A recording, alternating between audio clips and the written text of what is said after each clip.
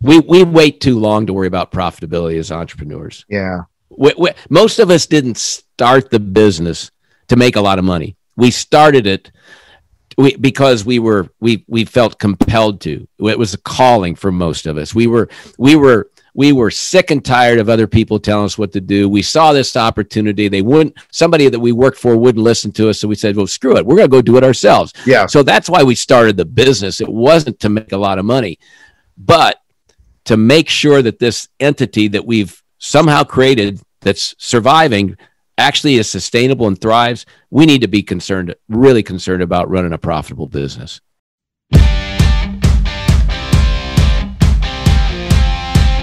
This is the Wealthy Contractor Podcast, brought to you by G4 Marketing. Interviews with today's top home improvement entrepreneurs about marketing, sales, money, mindset, and lifestyle. Now, here's your host, Brian Kaskavalciyan. All right, everybody, welcome to another episode of the Wealthy Contractor Podcast. This is Brian Kaskavalciyan with G4 Marketing Group. And today I have got somebody that is not a contractor. I know this is called the wealthy contractor, and I normally will uh, interview contractors. However, this guy that I'm going to um, interview, his name is Ed Eppley. And Ed came to me through Matt Hollander from Hulco. And uh, Matt uh, has uh, become a friend and a client of G4. He's a speaker at Accelerate Live in 2021 and runs a phenomenal business, again, called Hulco in Tennessee. And when someone like Matt Hollander says, Hey, you really have to meet this guy, uh, Ed Eppley, I listen and I reached out to Ed, and between our two schedules, we found some time to talk and he had me within five minutes. Um, and so, Ed, um, that is your, you know, I told you I'm going to do like an informal bio. Um, listen to what this guy, hold on, listen to what this guy has done. So, right now, he runs the Eppley Group, uh, which is a, I guess you could say it's a management consulting company. You basically help companies get better. Yep. All right listen to some of these companies that he's worked with Goodyear Tire, BMW, Sara Lee, Bloomberg, PSA Airlines. Now that dates you, my friend. I remember PSA Airlines. You know what's my favorite thing about PSA Airlines? What's that? The smile on the front of the plane. they sold to somebody else and that somebody else, of course, messed it all up and they took the smiles off the airplane. What? Well, I, I don't remember that part. I just know them today as a wholly owned subsidiary of American Airlines. Of American Airlines. Okay, so that's where I've seen them. They do operate as PSA Airlines. That's right. But when I was growing up, PSA Airlines was a standalone on its own big airline. Okay. And all of their airplanes had a big smile under the cockpit.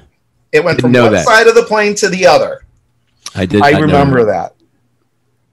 So, um, Ed, let's talk about. So, uh, we can't not talk about 2020 and and you the listener we are recording this at the end of 2020 you will hear it the first quarter of 2021. And so we will be off to the races with 2021. But I think we've got to kind of put 2020 into perspective. And I'd really like to get your take, Ed, mm-hmm. on what are you expecting in terms of business for 2021? You know, we've got a new administration that's coming in. Yep. Some people are thrilled. Yep. Some people not so thrilled. Correct. Us entrepreneurs, we don't have the luxury of sitting aside and hoping and waiting to see what happens. We got to keep barreling forward. That's right. So what what do you what are you thinking? What do you well, think? Tw- 2020 is uh, a really unusual year, uh, obviously for for a lot of reasons. Um, but the number one thing for me is that I've witnessed, Brian, is that organizations, unlike other downturns in the economy or challenging times, uh, 2020 uh, clearly put people in primarily one of two categories. They were either in the tomb, where their business was markedly hurt and and and in a way that you know in some cases uh, you know a number of companies have gone out of business uh, depending upon the industry and what your uh, mode of operation was you were you were really hurt by that um, or in a boom so you have the tomb or the boom and boom means that you know you your business has not only survived but thrived and uh, so many in the contracting world have seen that happen yeah, we've um, seen that in the home improvement space. That's that's correct. So I, it, there really aren't too many. Uh, I do. I'm on a board of advisors for a very large um, uh, uh, uh construction management company. Uh, they do 350 million dollars of projects a year. So I mean, I get to see what they do and get that side of, of that type type of exposure to that kind of contracting. Then obviously with Hulco, I see what Matt's done, and they've had a remarkable year um, and and a number of other ones. So I've I've witnessed this, and um, and so my forecast for 2021 quite simply is this. Because 2020 has been such an aberration it has been such an unusual year by all standards um, if you are in the tomb in 2020 you should expect a better year than that in 2021 if you were in boom in 2020 i think you're going to see something less than you had in 2020 in 2021 I, in other words i see reversion to the mean. I think that we've we've had this aberration it's thrown the business either in high gear or in low gear and now what we're going to do is go somewhere in between that for wherever your business was i i can't see it i can't see if you had a record year in 2021 uh, 2020 that you're going to somehow if you grew at 25% it's awfully hard to grow again at 25% even if you wanted to. Yeah. I have a couple of firms, Brian, who literally um, could replicate 2020 and 2021, but their suppliers won't allow them. They literally can't get all the raw materials they need to replicate yeah. what they did in 2020. So I, I, I just don't see it happening for most organizations. And that also begs the question should you want to repeat as much growth in 2021 as you had in 2020? Well, and that's that's by the way to the listener when when me and Ed were talking and you know I was basically what I was doing was trying to see if he's he would be valuable enough to you the listener to have him come on. Where he got me, I told you, he got me within 5 minutes was we had this conversation about how much growth is too much growth.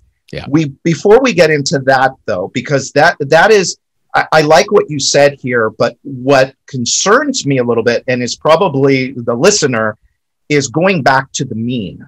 Yeah. And so, how do you? Um, let's use uh, let's use Hulco as an example because sure.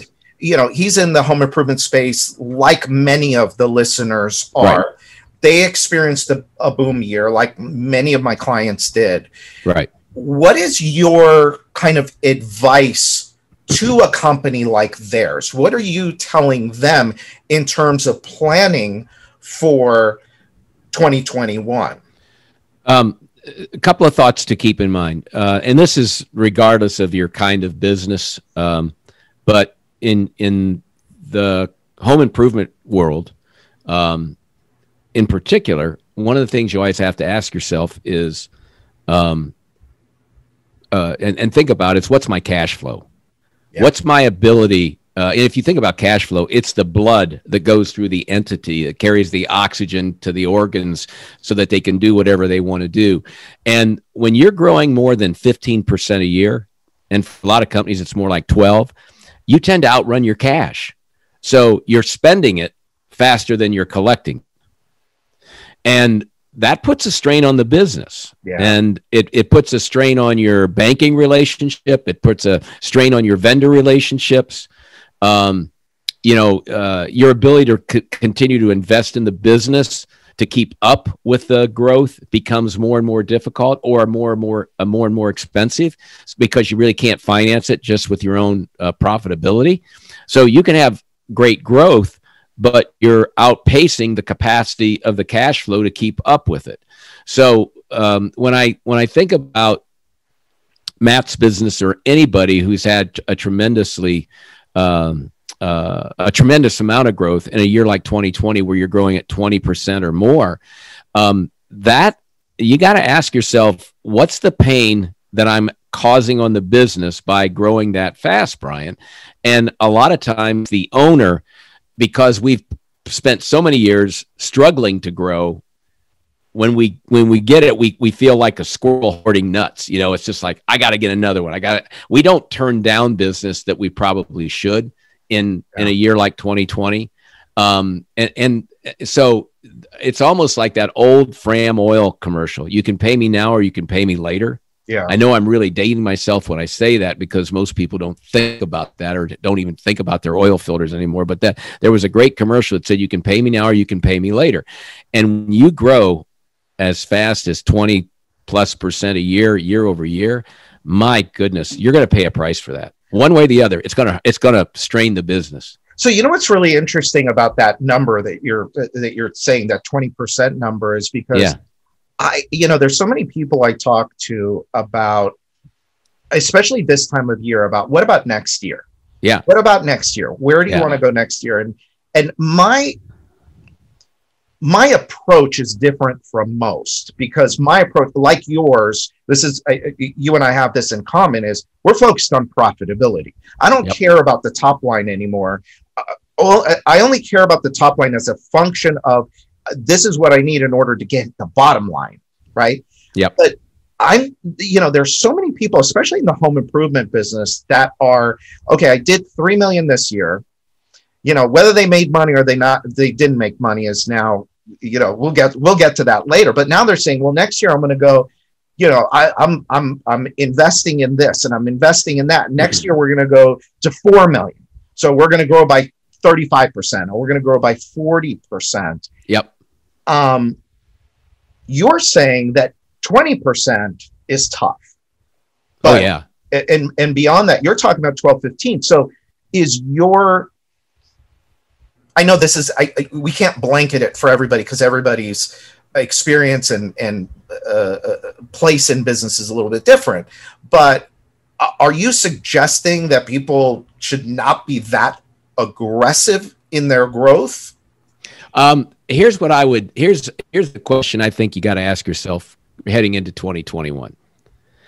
If if you knew there was going to be a downturn, a recession in 2022 or latest 2023 of and let's just say if if you knew there was going to be a downturn of at least 20% year over year that that whatever revenues you do in 2021, you're going to do 20% less in 2022. How would you run your business in 2021? What would you be focused on? Isn't that a little doom and gloom, though? Yeah, it is uh, by, by a lot of standards. But you got to think about when's the last time we had a recession? Yeah.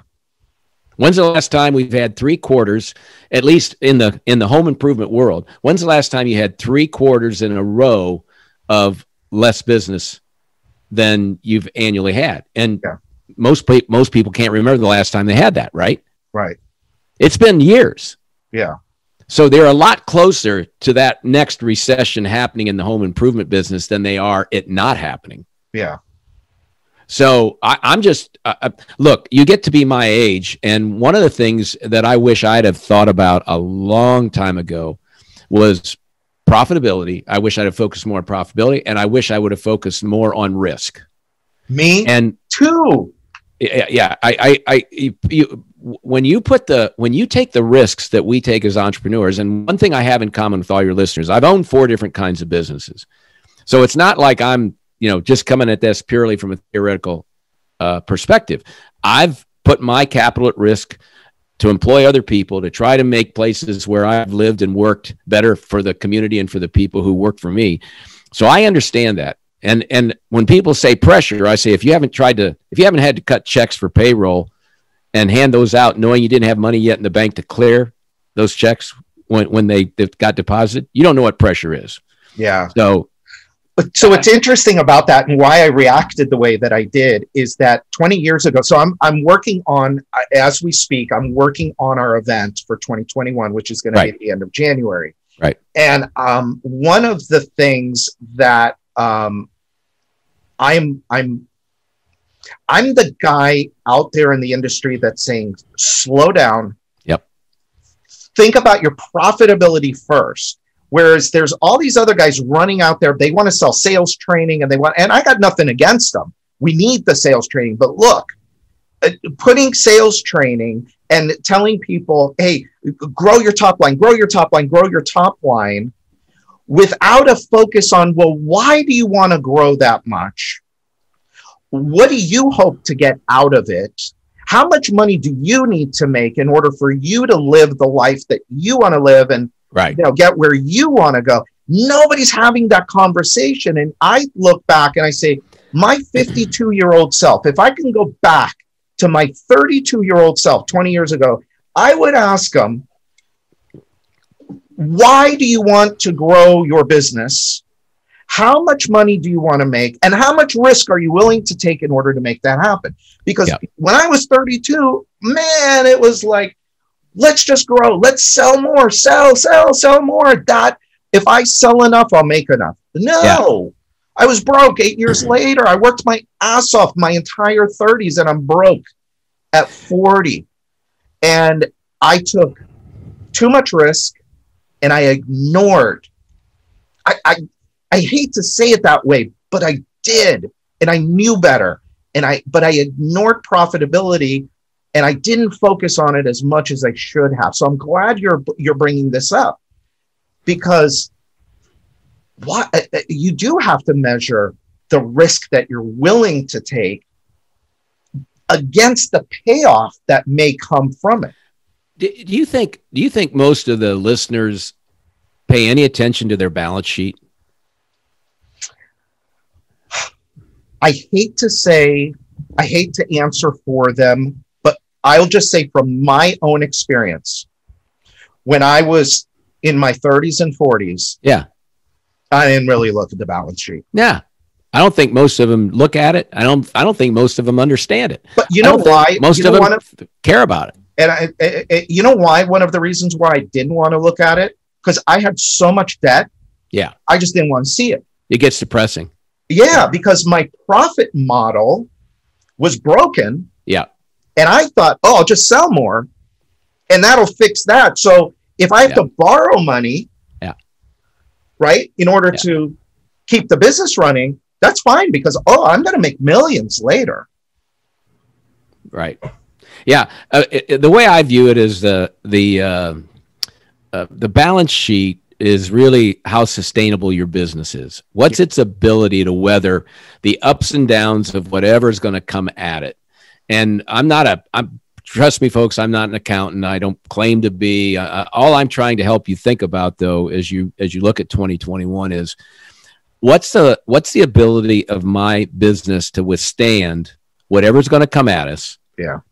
Both in terms of the market that we serve, but also the the global market, and there's a lot of volatility in the air right now. We don't know what's going to come at us and what, how much of it's going to be good or bad. But if you got a good balance sheet, then you're you're in a, a position to withstand whatever comes at you relative to your, to your competitors. Yeah. Uh, the other thing I pay attention to is your gross margins. What's your gross margin? Is the difference? Essentially, it's um, your what the what the product sells for, and then after you take out the cost of goods and the, in your case, the cost to install. Right. It's it's basically you take those things out. What do you have left?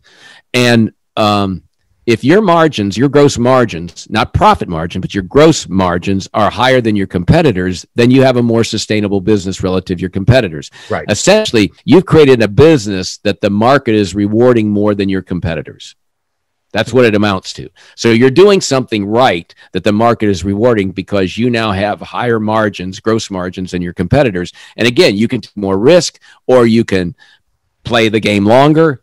Um, you can do an acquisition. You can do all these things your competitors can't do when those things happen. So I, I, I know I'm sounding a bit doom and gloom, but I'm also wanting people to think about, man, you know, if I'm gonna if I'm gonna put my money at risk, what should I get back for that?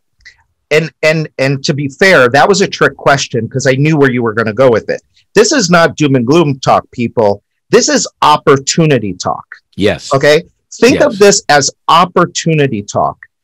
And and what and I agree with Ed uh, uh entirely. It's and and what he's talking about was my experience back then.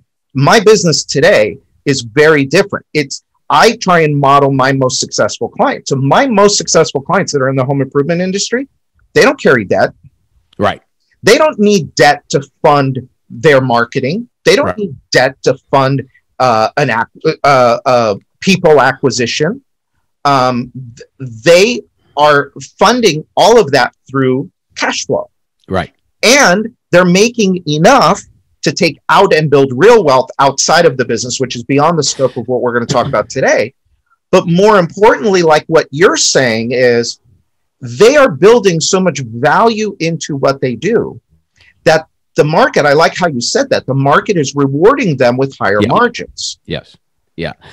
And the other thing is, most of the small home improvement companies are not businesses. Right. What what you have is uh, a, uh, somebody has created a really nice job for themselves, yeah. and um, but if they went to sell it, the vast majority of your listeners would get less for their business than they currently have invested in it because the act the, the, the person who buys the business would say well if you're not going to stay with it the business is isn't worth as much with you with you gone as it is with you present.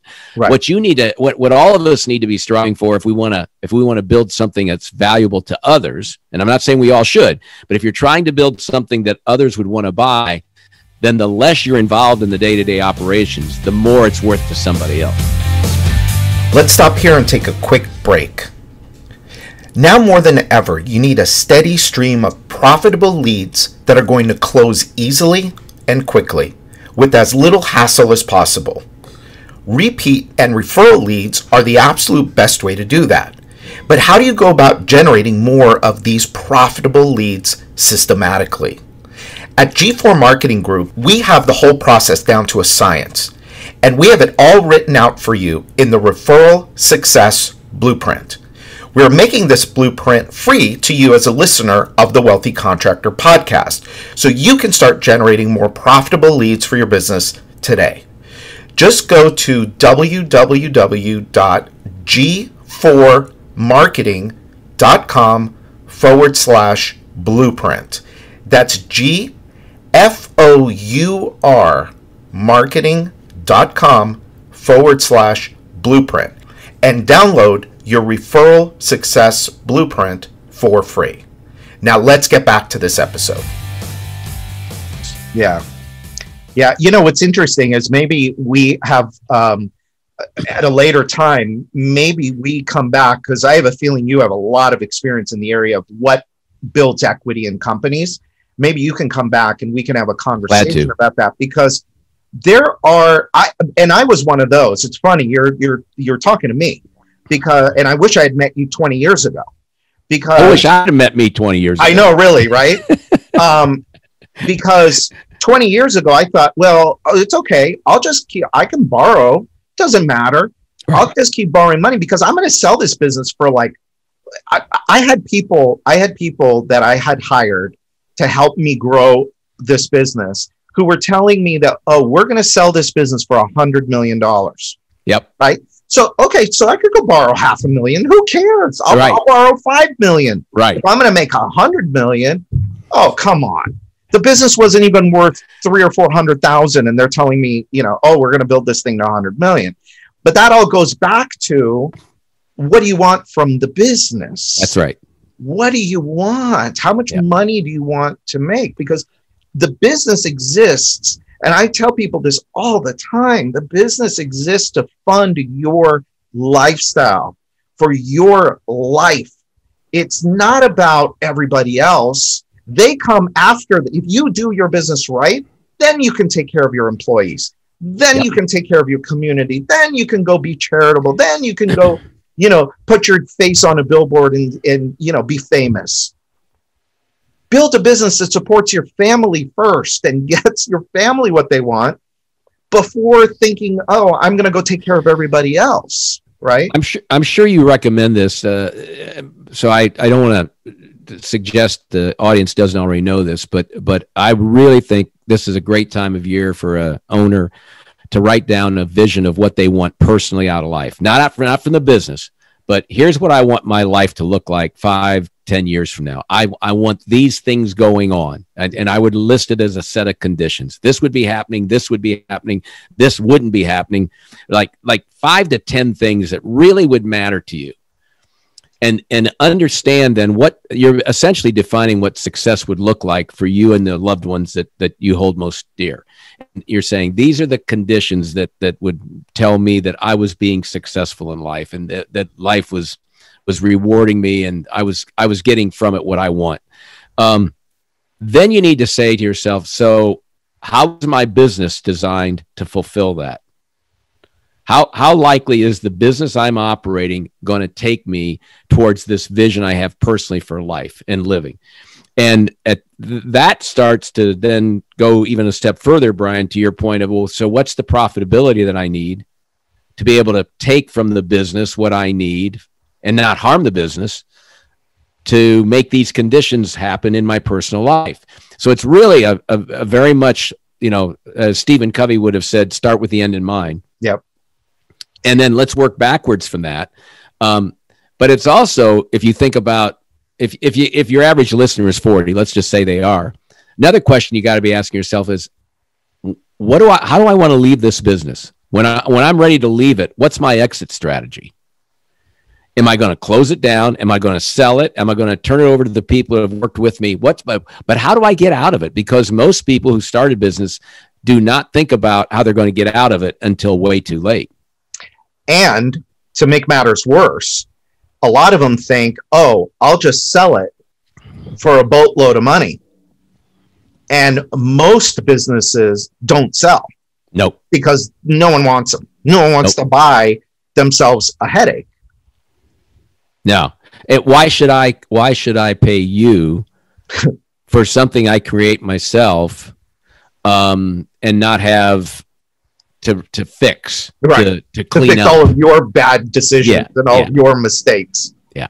Yeah, that's that that that typically most entrepreneurs are bad at exit strategies because they're not really business people. They're really good at something and they've created a business out of it and it, it's almost by accident it's gotten legitimate. You know most people who start businesses don't realize how absurd the whole premise of starting a business is. It's not rational because if we understood right. how how unlikely it is for this business to be successful we would never start it. I don't know if you and i talked about this when in our get together call. I don't the average most people don't understand how few companies get to 10 million dollars a year in sales.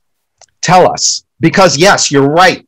Tell us. $10 million is a, is a magic threshold because it really starts to become a real business where you could actually sell it. Yeah. But only four tenths of 1% of all companies, less than half a percent of all companies get to $10 million a year. Think about that. That's so just, that, so let's put that into perspective. Yeah. So if you've got a thousand companies, yes, right? Four tenths of 1%. So 1% of a thousand is, is a hundred. Is no, it's oh, oh yeah, you're right. You're 10. right. It's 10. That's right. That's right. right? You're right. You're right. So yeah, yeah. four tenths of 1% is four. Right? Yes. Four. That's, now, that's right. the other interesting thing is how many companies, and I didn't know this, this shocked me, but what percentage of businesses get to even a million dollars in sales? And that's 4%. Is that what it is? It's four percent. It's kind of funny how how that works, and it's the Pareto principle that I've yeah. talked about here before, and I talk about it a, a lot because you can't fight the laws of nature. But it's interesting that you say that, and yet so many people that I talk to that are well, when I get to this level, then I'm really going to start making money. And what they don't realize is that they may not have a the ability to get there. They may not have the mental space to get there. They may not have the resources to get there. And forget all of that is you don't even need to get there. To make to be in the top 1% of income earners in the United States and probably the world you have to make like 400 and something thousand dollars. Well in the home improvement space, if you follow our advice, which is a minimum 15% net profit model. Right. In order to make $400,000, you only need a business that'll do less than $3 million a year. And Right. you'll be in the you'll be in the top 1%. Now, if you want to make a million dollars a year, I have a lot of clients that are making a million plus a year doing it on a 5 million or 6 million dollar business. Correct. What do you need a 10 million dollar business for? it, it- yeah. um, again, it probably goes back to how are they defining success? Right. And the average person who's running a business has really not decided how they're going to define success other than top line. Right. That's that's really what it comes down to. I'm going to grow my way to success. And Well, And and I'm sorry to keep cutting you off. that's right. you just keep saying things that I want to I want the listener to I want to give them an example of it is you've been to events. I'm talking to the listeners. They've been to events where you've got all these people that are parading around that oh I did how are you doing? Oh, I did 20 million last year. Oh, I did 30 million. I used to look at these guys like, "Oh my god, you did 20 million. Well, that was before I knew these people. Now I know a lot of them. And guess what? They're doing 20 million but they're making 4% Yep. like uh really? Yep. you, you you that you're proud of that? Money doesn't like you very much. I mean you know how to sell but you don't know how to keep money. And uh, and like you said before about the risk and all of that it's like really? You know? And and and the problem with that is is you've got these business owners that are looking to these people and thinking they've got it all figured out. Oh so yeah. If I want to be like them, I got to do 20 million also. And that's where you're done. At that point, you're just, that's flawed thinking. it, if, if you think about um, what what how hard it is to run a business with 10 people Yeah. I know how, how hard do you think it is to run a business with 20 Oh, yeah. and and you know you go from 20 to 40 it, it the scale required to operate those three different kinds of businesses the the the amount of energy required it doesn't become easier.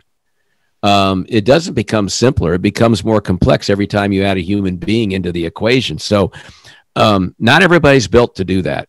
Uh, uh, clay Mathile is the guy who used to own owned Iams pet food. Clay built that from a million dollars to almost a billion over about 30 some years. And he sold it at uh, 1999 to uh, Procter and Gamble. Sold it for uh, $2.3 billion. 30, 30 times earnings he sold that company for. Wow. Yeah, it's a remarkable transaction that that he was able to make happen. Um, Clay said something that was profound, and it was I, I thought he was talking to me when he said it. He wasn't, but he said, "Just because you own the business doesn't mean you're the right person to run it." Yeah. and he brought in a guy to be his COO when the company was 120 million, and in five years he took it from uh, 120 to almost a billion dollars. Yeah. And Clay would have never done that except his board said, "You you're not the right guy to take this business to the next level." And finally, after about a year and a half, they got him to figure it out. I'm saying that to our listeners simply because you don't have to be the person that runs the business day to day. Sometimes your best investment would be to pay somebody to come in and run the day to day operations because we might be better doing work than we are managing others.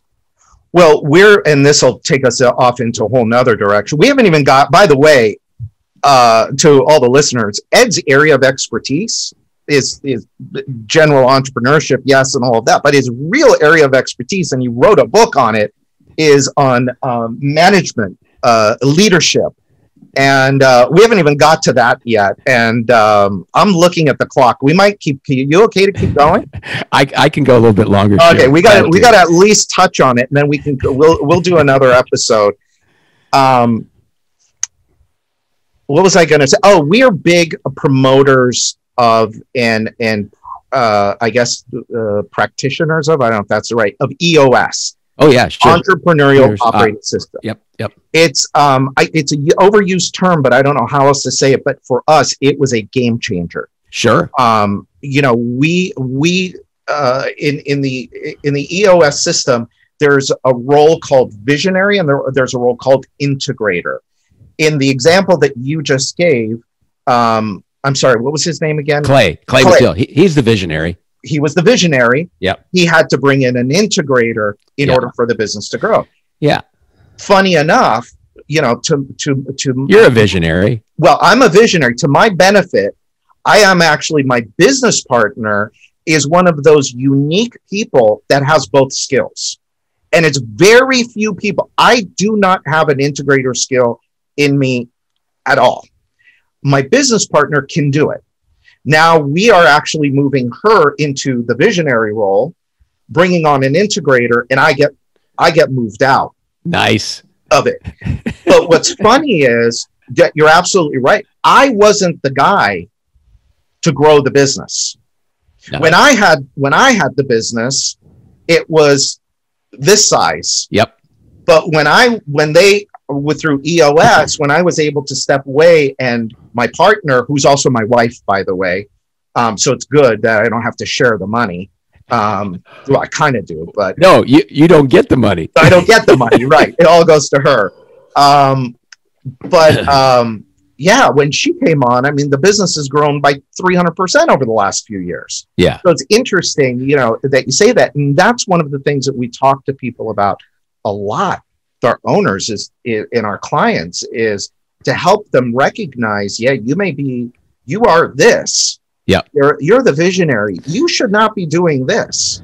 And the longer you do this, the more miserable you're going to be, and the harder it's going to be for you to focus on what you need to be focusing on in order to get out of the business what you really want Yeah, from the business. Yeah, at some point, every owner becomes the obstacle to the success of the business. Yeah, absolutely. At, at some point, I'm a I'm a very good starter of enterprises. I can create something from nothing, uh, and it's very intuitive for me. I don't have to think about it. I know how to do it. I just do it. Yep. Um, I've I've recognized I can do it multiple times, but I get bored after starting it. And I don't want to do the work that's required to scale it and to focus and to, and I don't want the hassles of people. You know, I, I, I've- I share this in, in the professional management work that I do. I'll, I'll, I, I, I'm not proud of this, but my attitude is kind of, if I have to tell you something more than once, then you're stupid. And, and if you're a manager and leader of people, you got to be willing to over communicate and say stuff over and over and over and over again to to really make sure it's understood and it sticks and that people know you're serious. Well, I I I don't I don't want to do the work that's required to be a great manager and leader of an enterprise. It's just that too. simple. I don't. Me Uh, too. And so I've been blessed that God helped me figure that out. That I was I was not meant to be an employee of others, and I was not meant to run a big company. And so I've been really fortunate to be able to have a essentially a sole proprietorship uh, for in one fashion or another for the last twenty years. So to the listener, there's nothing wrong with you. No, If you got, if you probably have big plans and big dreams, but you are your biggest obstacle, um, it's okay. There's nothing wrong with you. Yep. Uh, that's that's you. That's the trait of an entrepreneur. But at some point, you got to say, "Hey, I got to move aside, and I got to start putting people around me that can actually make this happen." And that's where we get into this leadership. You know, Yeah. how do you grow from you know being the entrepreneur to to really becoming a, a, a leader and growing people now we're at a clock um, but um, you're going to come back and we're going to talk about that another time. I think that this has been a very very productive conversation especially for you know first quarter of 2021 um, you just have reinforced a lot of what we talk about here on the podcast which is focus on your on your profitability. Um, start there and then you know build from there.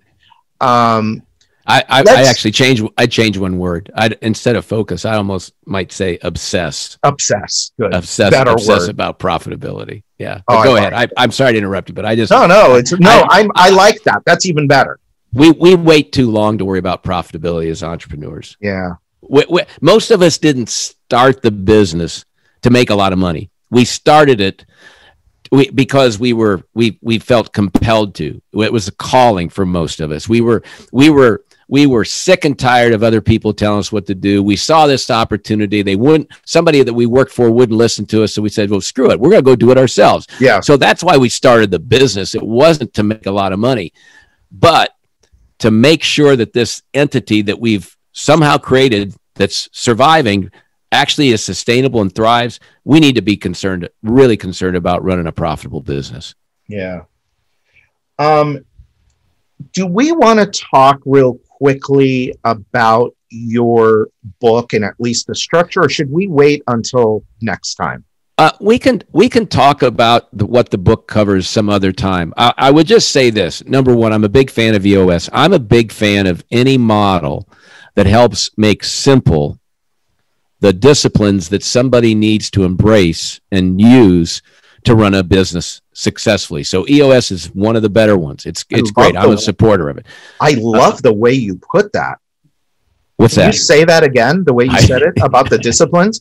Okay, so to everybody listening, I'm going to do this. I'm going to go back and I'm going to rewind and I'm going to listen to what he just said about the disciplines because that was that was that was really good, Ed. What what we want is is a system that makes very simple and easy to understand the disciplines that we need to exhibit to operate a business. And and so eos does that. Professional management does that. So it's not they're, they're not uh, no one has a uh, uh, exclusive secret sauce about what it takes to run a successful business. Those disciplines are well understood. But what eos does it makes it simple for people to get their heads around what does that look like and it makes it very clear and it says it's very much a process that they help you understand that you learn to master and then you replicate it and you do it over and over and over again. And that's why you end up with a sustainable thriving business. So it's just like selling. You need a model for selling. You need to have a, a, a set of rules that you follow when when you're trying to sell something to somebody else to help them make a buying decision. And i don't care which system you use. I just care that you have one my book, same thing. Yeah. My book is really, and I wrapped it around a professional management model, but I could have wrapped it around EOS or anybody else's. But what it is is I've captured for the reader in my book what I've learned in 40 years about these disciplines and what I know to be true. Yeah. And I share with the readers uh, uh, really real life examples that I've experienced. And I talk very specifically about companies I've worked with or I know of who've done it well and I use um, other names to describe people who've not done it well. I protect the uh, the guilty, if you the will, guilty, by not, yeah. naming, not by naming them out loud. Yeah. So the, the what the book though is only 120 pages. What it does is it's a real quick read to help people to understand. Well, what does it look like when we lead, or what we talk about culture, when we talk about people development. So we'll get into that some other time, Brian. If you yeah. want to have me back, I'm glad to do it. But that's why I wrote book. I wanted to, I, at my age, I wanted to get that down there and, and because I didn't, you know, hey, I could be gone tomorrow. Right, right. Um, so this has been fantastic. Uh, to the reader, we will put this information in the show notes, but you can find Ed at, and I'm going to spell his name for you. It's the eppleygroup.com. So it's the T H E E P P L E Y group, G R U P. All one and, word. Yep, all one word uh, dot com. Again, we'll put it into the show notes. Um, tell us real quick. You have an assessment, yep. a free assessment on your website. Tell yep. us real quick what that is and whether or not it will be valuable for the listener. Yeah, most people want to know. Well, how am I doing? You know, uh, uh, am, I, am I average? Am I below average? Am I above average? So, so essentially, what I've done is created a, a quick assessment. It takes about 15 minutes to go through. It asks about three to five questions per discipline about is this happening or not? Is this happening? Is this happening? And based upon how you answer, uh, and you have a you know scale of one to five essentially to answer the questions. Based on that, it gives you feedback about where you are and how much risk you have at you know not necessarily doing a discipline as well as you should. And so it gives you a sense of how much are you on track or not on track at doing professional management or EOS, whichever one you want to think about. Am I am I doing this as well as I should or or is there opportunity to me to do it better that would help the business? And cool. it, and and do it quickly. Cool. All right, so Ed, thank you so much. And I, I, you know, and to the listener, I can't wait to have Ed back because there's a bunch of stuff that we didn't even get to. but I think that I thought that this was a very good conversation, especially again going into 2021. You guys will be listening to this sometime in the first quarter of 2021.